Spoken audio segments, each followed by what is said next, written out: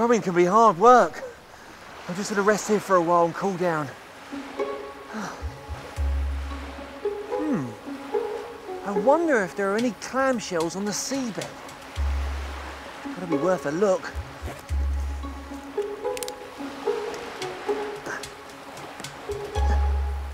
I can't see any clamshells, but I can see.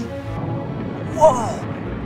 It's a Predator X, a colossal underwater hunter that loves to snack on Kimmerosaurus. Now that is what I call a sea monster. Oh, here he comes. Ah, he's coming to say hello. Hang on a minute. Coming up to say hello.